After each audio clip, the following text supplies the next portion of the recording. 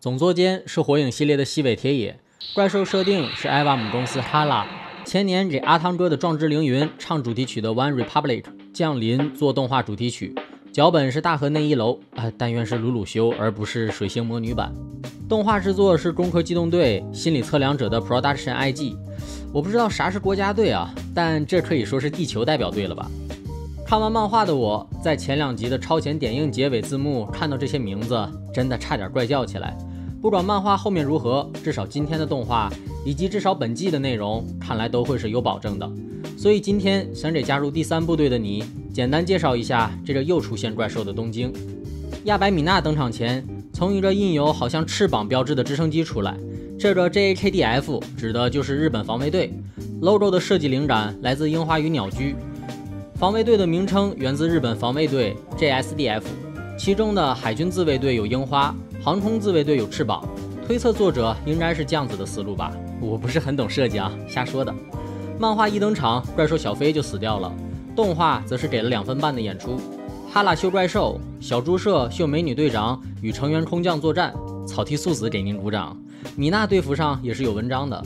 出云科技作为日本最大的反怪兽武器制造公司。队员的作战队服与武器均来自他们家。顺道一提，他们还有国际化的 logo，上面是出云的罗马音。这家荒坂呃出云公司不仅和政府合作，主角卡夫卡在切肉时也为他们提供了怪兽的样本。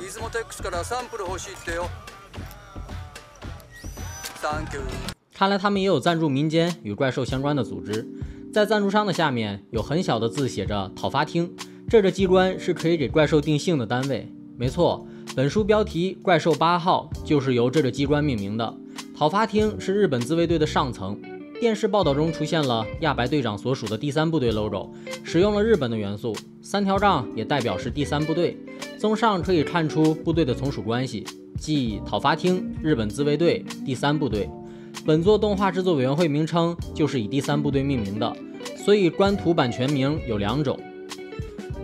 怪兽被打倒后，卡夫卡身穿工作服出现。他所在的 Monster Sweeper 是一家专门负责怪兽解体的公司。相较于漫画，动画给善后工作增加了很多机械道具，也因此扩大了公司的场地，用来停放解体工作的工作车，一股艾娃味儿。MS 工作人员穿的工作服，小猪社在叉上也有细节的展示，可以很好的隐藏皮肤不露出缝隙，能抵御一切伤害，包括怪兽的体液与血液。然后动画就出现了内脏爆炸、血液烫坏工作服的场景。不愧是热血番，物理。卡夫卡的回忆中，曾经爆炒的自己站在米娜的广告牌下。更惹眼的是重建建筑上护种建设的大商标，这家是日本三大建筑公司之一，以怪兽灾难导致的倒塌为前提，提供便于重建的建筑材料与方法。该公司在灾后重建中的作用不可或缺。写到这里就扯一堆堆闲篇儿。如果怪兽的出现与无法根绝。最后和出云科技以及护种建设有关，我一点也不觉得奇怪。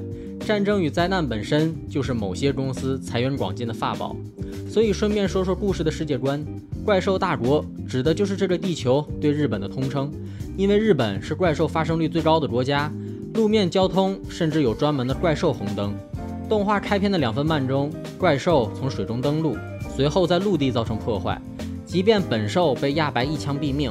之后还会伴随鱼兽的出现，鱼兽有沿着本兽创造路线出现的，也有寄生在本兽上的，还有就是本兽创造的。第一只怪兽出现时，电视报道使用了三点五级、全长六十米等数字字眼。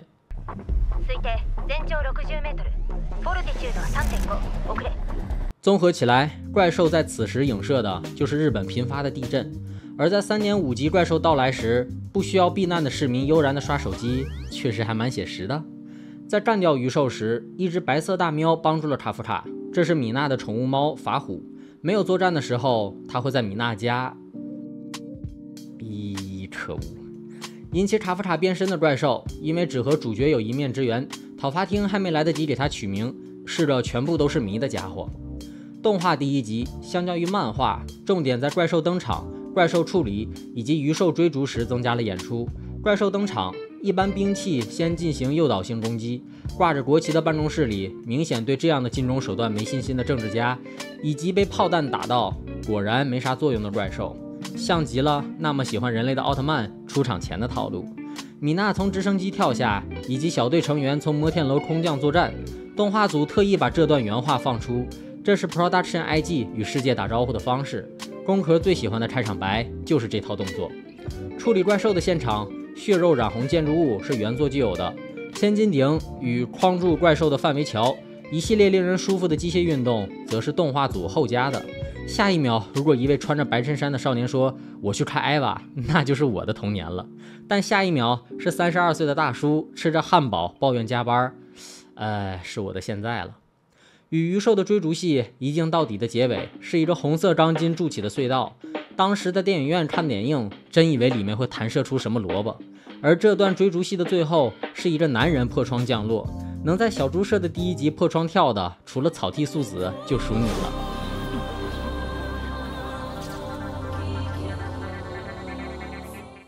说了这么多，稍微聊点自己的想法。动画这个行业发展这么久，如今又是这信息爆炸的时代，《怪兽八号》很可能不是动画老饕心中的好作品。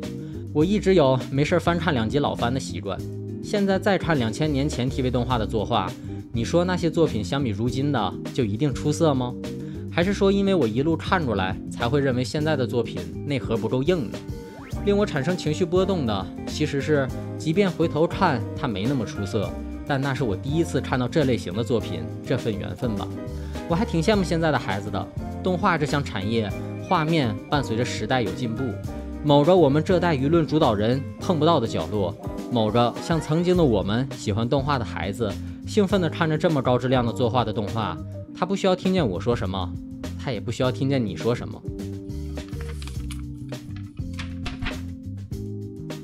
怪兽八号的第一篇导读到这里就先告一段落了。喜欢的话点赞、收藏、投币就拜托了。